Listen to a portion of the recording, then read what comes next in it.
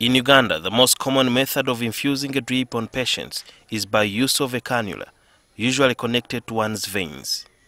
The nurses or doctors control the rate of the drip and have to continue monitoring to avoid any clinical challenges. However, a 10-man team from the Uganda Industrial Research Institute has come up with a new way of controlling the amount of water that drips into the bloodstream of a person. The electronically controlled gravity feed infusion set was designed in the outer casing fabricated from here. The head of the team, Philippa Ngaju Makobore, explained what prompted her team to come up with such kind of innovation. Engineers at the instrumentation division here at Uganda Industrial Research Institute conducted a feasibility study. We wanted to assess what were some of the high um, priority clinical needs in the hospital and we were looking at pediatric care.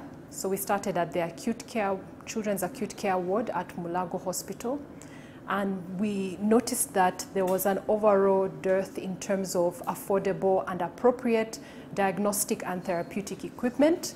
But the challenge that stood out the most for us was the fact that there were very limited infusion pumps. The machine, which has taken the engineers and technicians five years to develop, has a drip sensor installed on the rollable stand. The drip chamber is clamped onto the drop sensor. So the drop sensor, um, it, has, it's housed with optical sensors that are able to detect a drop. So there's an optical beam between it. So if there's any interference, that would detect a drop. So we've refined um, that particular module to prevent interference, especially with uh, light, um, which is in the room, so that we're able to get an accurate drop, drop rate of plus or minus 1. The ECGF is powered by a 12 volts battery. The power supply unit is made by Ronald Cheyune. We also have a monitoring module that helps us to determine the battery levels. With the battery management module, you can support a therapy for over eight hours. The ECGF is given instructions or commands using a keyboard and is able to act accordingly. I basically designed the user interface. The user interface is essentially uh, the manner in which the device communicates with the human being. Uh, it consists of a display, a keypad, LEDs. Uh, the, the clinician is able to input values to do with the size of the fluid giving set, so the fluid giving sets have different sizes. However, our device has been tested with a giving set rating of 20 drops per milliliter. So that's the one that we use. Then you'd input the volume of the bag. That would be the second step, which is usually 500 milliliter bags. Those are the most common ones. Then after that, you'd have the volume that you want to infuse into the patient. The time amount of water or medicine in the saline to be infused is all done using commands.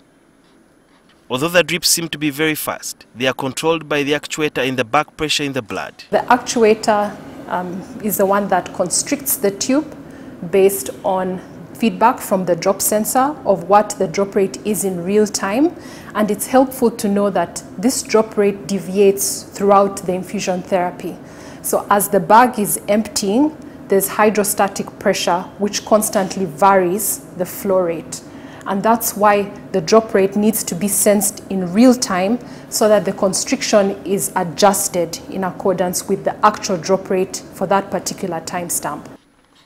In order to know what happens when there is an air bubble or less amount of prescribed saline, INID Kansime calibrated the unit. More often, some patients fold their arms, affecting the flow of the saline into the blood.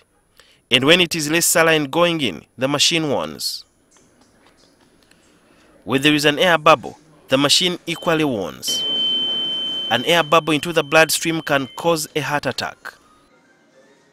So once the therapy has started, the nurse can leave the patient and attend to other duties.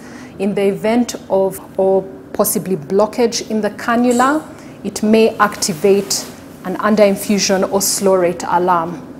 And this would pause, essentially pause the therapy and that alarm would notify the nurse that she has to come and address what is causing the blockage, and then she can resume the therapy from when it has started. Clinical trials were made in Kiruddu Hospital, Fort Portal and Mbarara between December 2018 and February 2019. However, having the gadget tested came with hurdles. Biggest challenge we faced was getting ethical approval to test in the hospitals. This was because investigative devices are not common in clinical, in clinical trials here in Uganda, especially for a device that's developed within the country. The team has made about six of the ECGF machines and each one costs about $350 as compared to $1,000 for the imported machines that do almost the same thing. And uh, the group is entirely stuck at the moment because they lack funds. And if government could pick interest in this, you'd have more of these machines to reduce the errors in infusion therapy in many government hospitals. Over to the authorities in charge. Sudhir Byaruhanga, NTV Innovation Nation.